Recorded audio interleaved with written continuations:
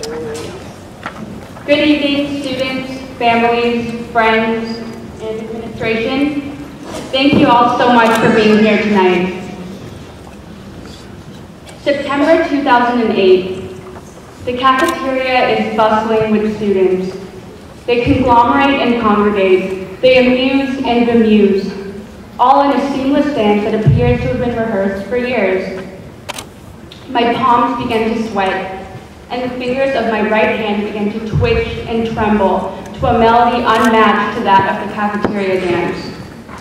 I made my way towards a table of unassuming girls, but somewhere in the 20 feet between my original position and the table of girls, I quickly stopped, pretend to throw away something in an aptly positioned trash can, and turn around.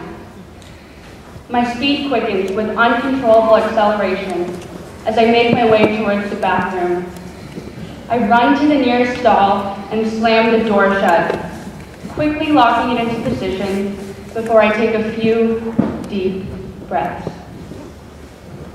I can assert without hesitation that my freshman year was a lonely one. I spent many a lunch break alone in a bathroom stall, a place where I read often and sulked on occasion. My social anxiety spurred from the shaky interregnum that is the junior high. I kept trying to find a reason for why I couldn't make friends. I thought that if I could just change that one inconsistency that made me so different from everyone else, all of my failures would disappear, and my life would become some version of the lives of the perfect high schoolers I saw on TV. I'm old enough now to realize that living the life of a television series character would actually be far less appealing than living my own. And that each and every one of my successes was ignited by my so-called failures. At a point during my sophomore year, I noticed I had a slew of soon-to-be friends who shared my love of math, classical music, roller derby, depressing literature, and Monty Python waiting to eat lunch with me. All I had to do was pull up a chair. Google says that the most popular graduation speech message is that we must seize the best opportunities that present themselves to us in the adult world.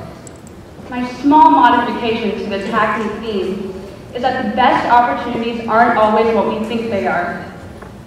Life isn't about seizing the perfect opportunity. It's about seizing the right one. Before I could even pull up a chair to sit with a group of friends, I had to first open the door of the bathroom stall, where spending my lunch breaks had become a habit for me. The fact that I have experienced a considerable amount of growth in the past four years, and get to stand up here and share my somewhat mediocre life story with all of you, means that each and every member of this year's graduating class has grown for the better as well. A quick glance at the statistics of the class of 2012 shows state champions in football, dance, lacrosse, and golf, 12 national merit finalists, six presidential scholars, and another win in Mayfield. While all of these accomplishments are undoubtedly impressive, they are simply a concrete representation of the personal struggles that each and every student who will walk across this stage tonight has experienced. It's not the awards we receive or the medals that we get to wear that define us, but rather the change we underwent to earn those markers that we should be proud of. As we enter into the next phase of our lives, it's necessary to remember that we don't need to have everything planned out. What's important is not whether you know what your exact path is for the rest of your life, but simply that you have the knowledge that you're on a path. Whether the next years hold college, work, travel, or time off, every challenge, struggle, and failure that we undergo are what will lead to our eventual success. I wish I could stand up here and say that every one of us will be successful. But I don't have the right or the power to make that call. What I can say is that each and every one of us will find happiness. There's no math or checklist of actions that leads to happiness. but I think finding it has something to do with Google's most searched graduation speech message. Perhaps the idea of seizing opportunity has been repeated so many times because there is a great deal of value in it. I hope that we can all walk across this stage tonight with the knowledge that we won't be flushing away these past years of our lives with the hope of finding something better, but rather with the pride that we have all already changed for the better because of these past years and will continue to do so for the rest of our lives.